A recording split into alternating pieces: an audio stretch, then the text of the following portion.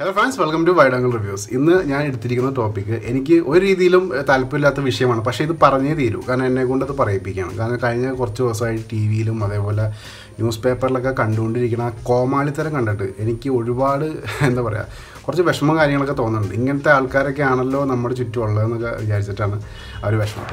വീഡിയോയിലേക്ക് പോണേക്കാകുമ്പോൾ ഞാനൊരു കാര്യം ഉറപ്പിക്കുകയാണ്. എന്റെ ഈ ഒരു അഭിപ്രായത്തോട് നിങ്ങൾ യോജിക്കുകയാണെന്നുണ്ടെങ്കിൽ ഒരു ലൈക്കും വേണം. അതേപോലെ തന്നെ നിങ്ങൾ ഞാൻ എപ്പോഴും പറയാറുള്ള പോലെ പുതിയൊരു ചാനലാണ്. റൈറ്റ് സൈഡിൽ കാണുന്ന സബ്സ്ക്രൈബ് ബട്ടൺ ഒന്ന് പ്രസ് ചെയ്തിട്ട് കൂടെയുള്ള ബെല്ലൈക്കൺ കൂടി ഒന്ന് ഹിറ്റ് ചെയ്തിട്ടുണ്ടെങ്കിൽ എന്റെ വീഡിയോസ് ഞാൻ അപ്ലോഡ് ചെയ്യുമ്പോൾ തന്നെ നിങ്ങളിലേക്ക് ആ വീഡിയോന്റെ ലിങ്ക് വരും. നിങ്ങൾക്കത് കാണുകയും ചെയ്യാം. അപ്പോൾ കാര്യത്തിലേക്ക് പോകാം കഴിഞ്ഞ ദിവസം നമ്മളെല്ലാവരും നേരിട്ട് കണ്ടും അതേപോലെ അനുഭവിച്ചതുമായിട്ടുള്ള ഒരുപാട് പ്രശ്നങ്ങൾ എന്നുണ്ടെങ്കിൽ നമ്മുടെ പ്രളയം രണ്ടാം പ്രളയം. ഇത് ഉണ്ടായതിന് ശേഷം ഒരുപാട് ആൾക്കാർക്ക് വീടും കാര്യങ്ങളൊക്കെ നഷ്ടപ്പെട്ടു. ഒരുപാട് പേരുടെ സ്വത്ത് പോയി. ഒരുപാട് പേര് എന്താ പറയുക പൂർണമായിട്ടും അവർ തകർന്നിരിക്കുന്ന ആ ഒരു സിറ്റുവേഷനാണ് ഇപ്പോൾ നമുക്കറിയാം സിറ്റുവേഷൻ എല്ലാവർക്കും അറിയാം. നമ്മളെല്ലാവരും വീഡിയോ വാർത്തകൾ കണ്ടിട്ടുണ്ട്.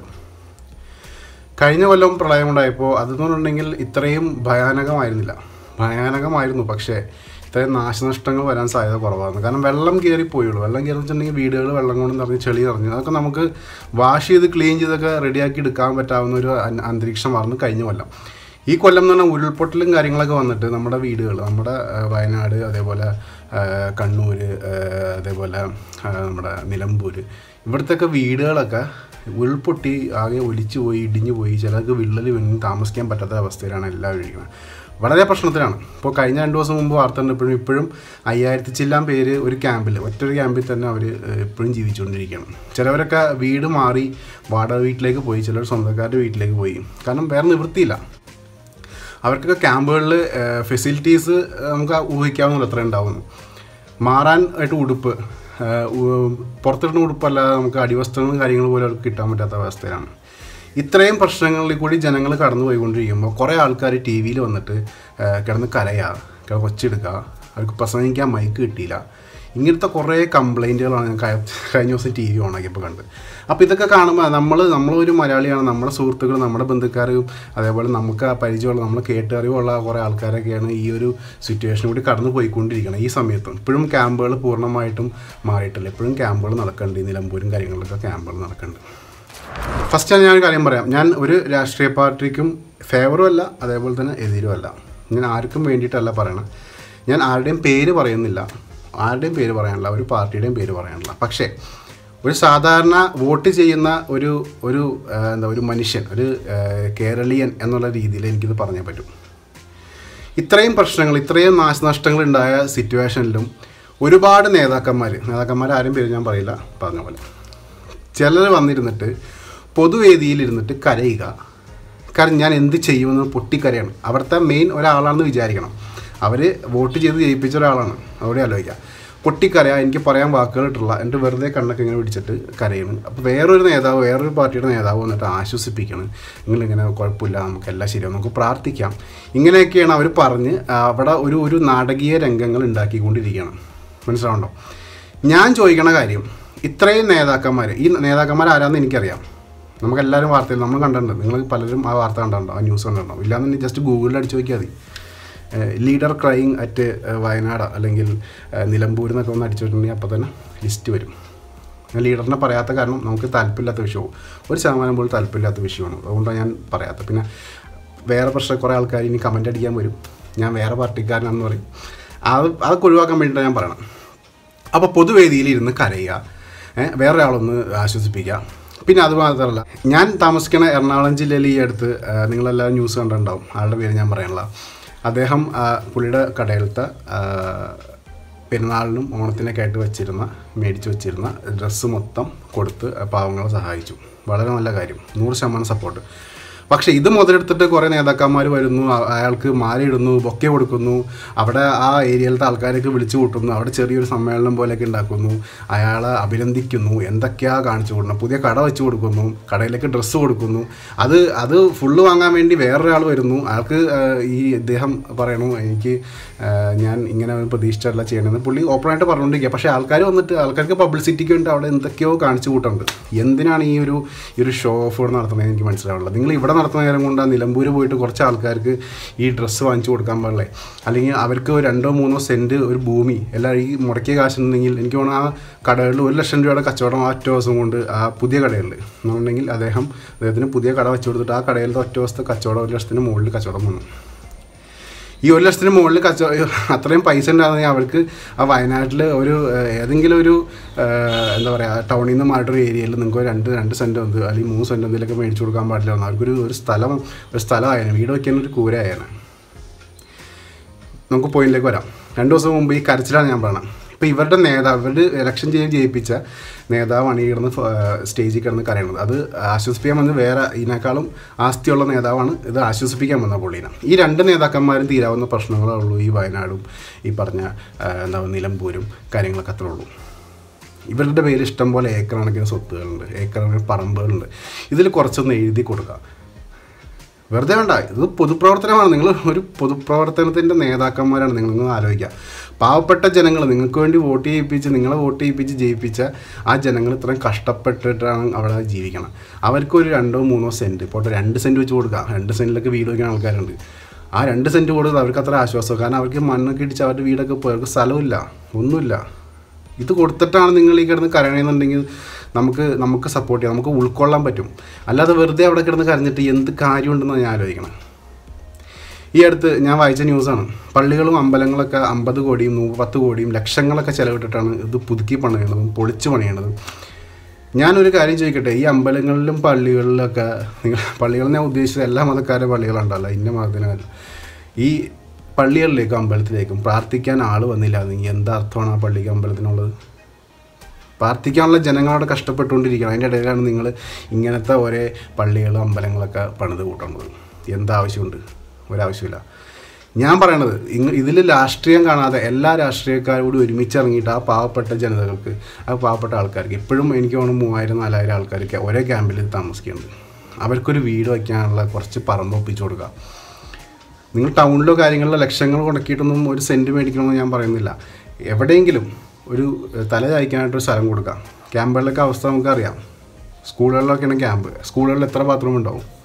അഞ്ച് പത്ത് മാക്സിമം അയ്യായിരം പേരാണ് ക്യാമ്പിൽ അയ്യായിരം പേര് ഒന്ന് രാവിലത്തെ അവരുടെ പ്രാഥമിക കർമ്മങ്ങളൊന്നും ചെയ്യണമെന്നുണ്ടെങ്കിൽ ഒന്ന് ആലോചിച്ച് നോക്കുക എത്ര നേരം അവർ ക്യൂ നിൽക്കണം? ഇത്ര അവസ്ഥകളിൽ കൂടെ പോയിക്കൊണ്ടിരിക്കണം ദൈവത്തെ ഓർത്ത് ഇങ്ങനത്തെ സിറ്റുവേഷനകത്ത് നിങ്ങൾ ഇവിടെ കിടന്ന് ഷോ ഓഫ് കാണിച്ച് വെറുതെ ഞങ്ങളെ കൂടി ചിരിപ്പിക്കരുത്.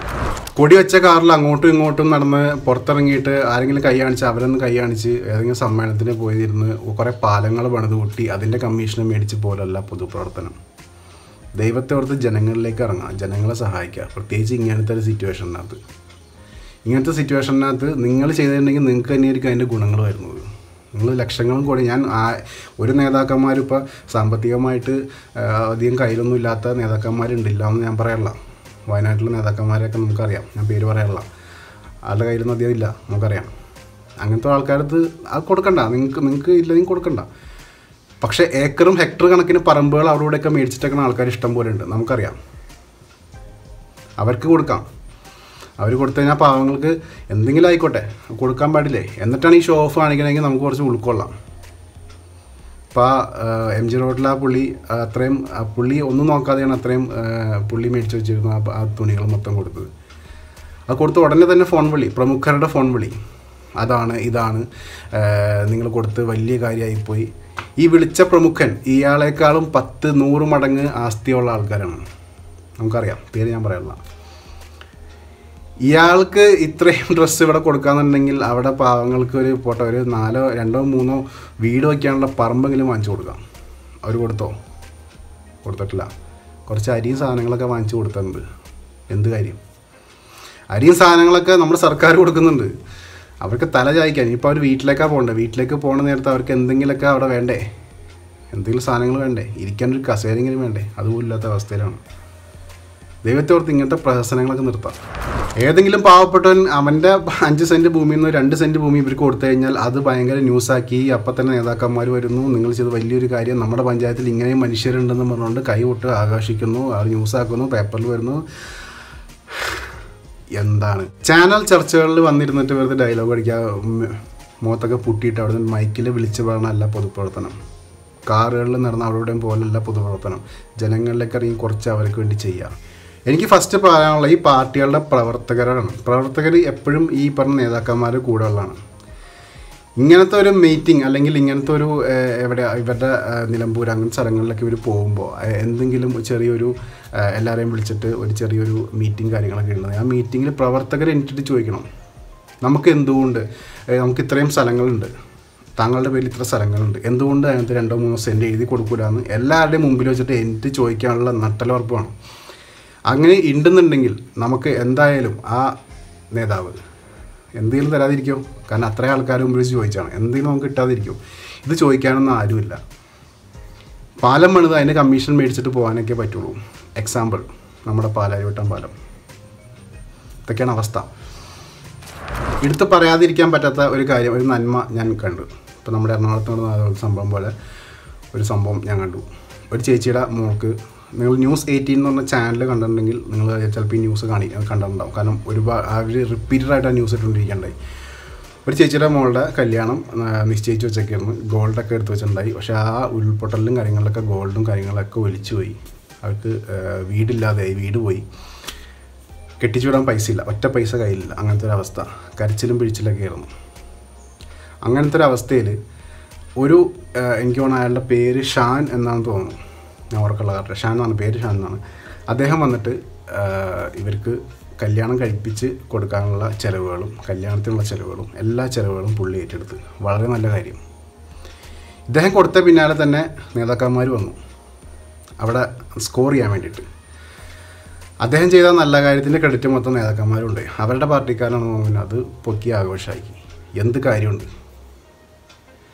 ഞാൻ പറയണത് അങ്ങനെ വരുമ്പോൾ തന്നെ നിങ്ങളത് അവോയ്ഡ് ചെയ്യണം. ആ ഷാൻ എന്ന് പറഞ്ഞ സുഹൃത്ത് ഇത് ഈ വീഡിയോ അങ്ങനെ കാണാൻ ഒരു അവസരം കിട്ടുകയാണെന്നുണ്ടെങ്കിൽ നിങ്ങൾ ദയവായിട്ട് ഒരു കാര്യം മനസ്സിലാക്കുക. ഇങ്ങനത്തെ കാര്യങ്ങൾക്ക് പോകുമ്പോൾ ആരും അറിയിക്കാതെ പോയിട്ട് അവരെ സഹായിക്കുക. നിങ്ങൾക്ക് അതിന്റെ നന്മ കിട്ടും. ദൈവത്തെ ഓർത്ത് ഇങ്ങനത്തെ രാഷ്ട്രീയക്കാരൊക്കെ ഇതിനകത്ത് അറിയിക്കാതിരിക്കുക. പ്ലീസ് ഇവരുടെ ഷോ ഓഫ് കാണുമ്പോൾ നമുക്ക് തന്നെ നമുക്ക് കേരളത്തിനോട് ഒരു ലജ്ജ തോന്നും. എന്നെ ഒരുപാട് ചിരിപ്പിച്ച ഒരു കംപ്ലൈന്റ് ഈ അടുത്ത് ഞാൻ ടി വിയിൽ കണ്ടാണ്. എന്ന് പറഞ്ഞാൽ ഒരു പൊതുസമ്മേളനത്തിന് അത് എന്ന് പറഞ്ഞാൽ ഇത് ഇത് ബന്ധമായി നമ്മുടെ ഈ ഫ്ലഡിന്റെ റിലേറ്റഡ് ഫ്ലഡ് കഴിഞ്ഞതിന് ശേഷം ഒരു മീറ്റിംഗ് ഉണ്ടായിരുന്നു. ആ മീറ്റിങ്ങിനകത്ത് പൊതു ഒരു പൊതുയോഗം പോലെ സംഭവമായിരുന്നു. അവിടെ സി എം വന്നിട്ടുണ്ടായി കൂടെ എം എൽ എമാരുണ്ട് ഒരു എം എൽ എയുടെ കംപ്ലൈന്റ് ആണ് എനിക്ക് മൈക്ക് തന്നില്ല സംസാരിക്കാൻ. എനിക്ക് ജനങ്ങളോട് സംസാരിക്കാൻ പറ്റിയില്ല. പറഞ്ഞാൽ പുള്ളിയുടെ ആ പുള്ളി കുറേ ഷോ ഓഫ് എന്ത് കാര്യമുണ്ട്? നിങ്ങൾ മൈക്ക് സംസാരിക്കാൻ കൊണ്ട് നാല് പേർക്ക് ഇറങ്ങി ഒരു വീട് തിരിച്ചു പിടിപ്പി സ്ഥലം തിരിച്ചു കൊടുക്കാനോ അല്ലെങ്കിൽ വീട് അവർക്ക് എന്താ വാസയോഗ്യമായിട്ടുള്ള ആ രീതിയിലൊക്കെ ആക്കാനായിട്ടുള്ള എന്തെങ്കിലും നടപടി ചെയ്യൂ. അല്ലാതെ നിങ്ങൾ ഇവിടെ കിടന്നിട്ട് മൈക്ക് കിട്ടിയില്ല എനിക്ക് അത് കിട്ടിയില്ല ഇത് കിട്ടിയില്ല കരച്ചിൽ പിഴിച്ചിൽ എന്താണ് കാണിച്ചു കൊടുക്കുന്നത് നിങ്ങളൊക്കെ? ഇറങ്ങി ഇറങ്ങി പ്രവർത്തിക്ക് ജനങ്ങൾക്ക് വേണ്ടിയിട്ട്. അല്ലാതെ മൈക്ക് കിട്ടില്ല എന്ന് പറഞ്ഞ് കരയല്ല ചെയ്യേണ്ടത് മനസ്സിലാവുണ്ടോ ഈ ഒരു കാര്യം നിങ്ങൾ നിലമ്പൂർ അങ്ങനത്തെ ഈ ഫ്ലഡ് അഫക്റ്റഡ് ഏരിയാസ് എന്ന് പറഞ്ഞ ആൾ ആരെങ്കിലും ഈ വീഡിയോ കാണുന്ന നിങ്ങളൊരു കാര്യം മനസ്സിലാക്കാം. നിങ്ങൾക്ക് വേണ്ടി ഒരു സെന്റോ രണ്ട് സെന്റോ പോലും തരാൻ പറ്റാത്ത നേതാക്കന്മാരെയാണ് നിങ്ങൾ ജയിപ്പിച്ചു കൊടുക്കുന്നത് ഒരു കാര്യമില്ല ഒരർത്ഥമില്ല ഇതൊന്നും അല്ല പ്രവ- പൊതുപ്രവർത്തനം. പൊതുപ്രവർത്തനം എന്ന് പറഞ്ഞാൽ ജനങ്ങൾക്ക് വേണ്ടി ചെയ്യുക നിങ്ങൾക്ക് അതിനുള്ള തിരിച്ചു കിട്ടും. ഉറപ്പാണ്.